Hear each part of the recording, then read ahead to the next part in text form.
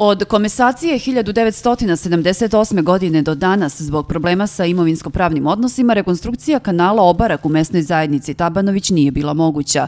Sa vodotokom Drenje, koji se uliva u Donjomačvanski kanal, radovi na rekonstrukciji izvodit će se na dužini od 3,5 km, a sredstva od 5 miliona dinara obezbeđena su iz republičkog budžeta.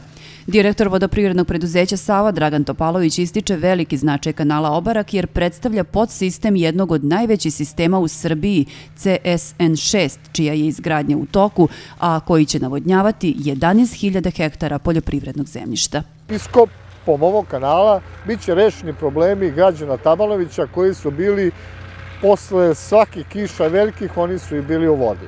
Poznato je u javnosti da je u toku izgradnja sistema za navodnjavanje od 11.000 hektara.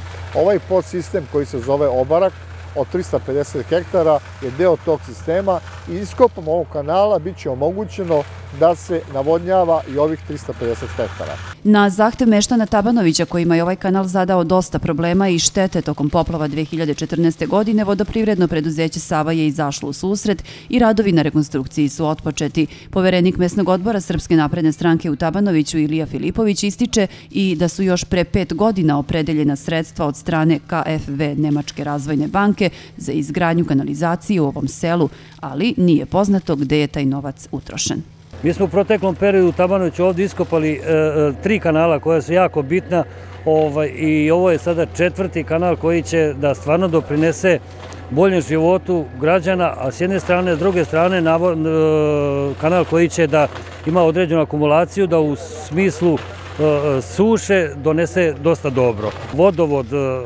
koji se odavde nalazi 300 metara vazdušnom linijom, gdje se grad Šaba snabdeva sa vodom, nisu uspjeli da urade jednu kanalizaciju za koja su bila opredeljena sredstva još pre pet godina od strane Nemačke banke. Oni su ta sredstva potrošili i nisu uradili tu kanalizaciju. Poverenik Srpske napredne stranke u Šapcu, dr. Aleksandar Pajić, istakao je da su i ove aktivnosti primjer vođenja odgovorne politike i dokaz da Srpska napredna stranka ispunjava data obećanja.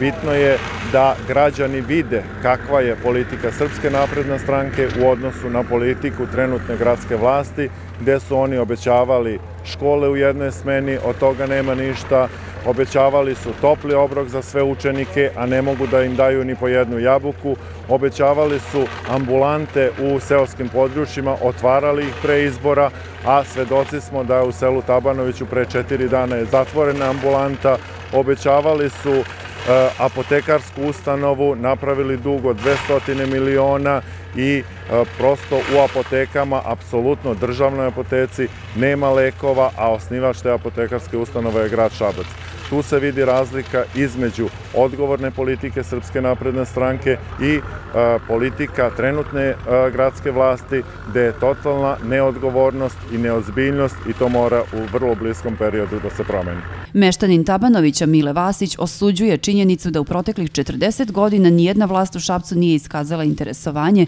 za problem kanalske mreže u Tabanoviću. Nijednoj vlasti nije palo na pamet da ovo radi. Čišćenje kanala. Svi su se žalili i vadili se na denostatak investicija. A niko nije proračunao kolika je šteta u poplavama i posle poplava. Da li su nečiji životi u tim poplavama ugroženi ili nisu. Ja mislim da ova vlast jedino koja je došla na vlast da misli malo u ovom narodu. Izgradnja crpne stanice na kanalu Obarak, što je preduslov za deo velikog sistema za navodnjavanje CSN6, ne zahteva velika finansijska sredstva, pa se očekuje da će i ovaj projekat biti realizovan naredne godine.